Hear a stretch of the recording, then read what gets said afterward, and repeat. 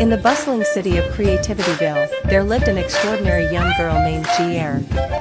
She was known far and wide for her love of styling her hair in a way that would make her appear as if she had just descended from another planet.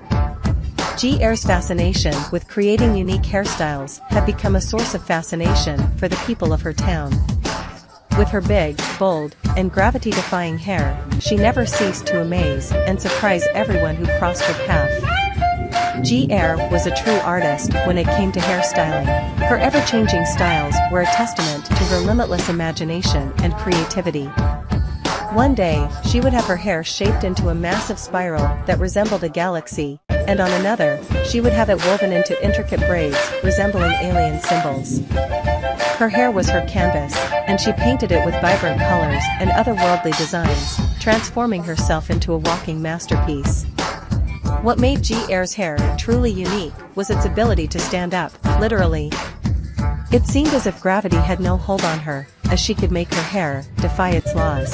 She could make her hair stand tall and proud like antennas, giving her the appearance of an extraterrestrial being. G-Air had the innate ability to manipulate her hair into fascinating forms that left people in awe and wonder.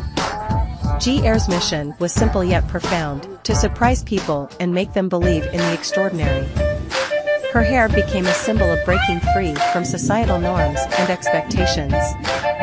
She inspired those around her to embrace their individuality and unleash their creativity. G-Air's hair was not just about style, it was about expressing herself in a way that encouraged others to do the same. The people of Creativityville admired G-Air's fearless approach to life.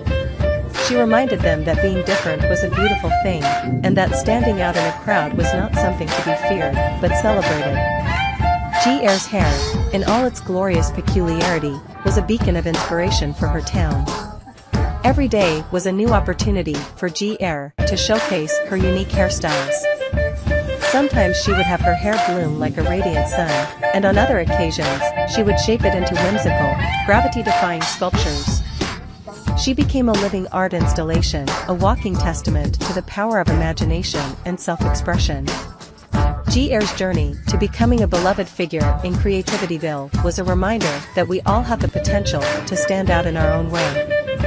Her big hair and unconventional style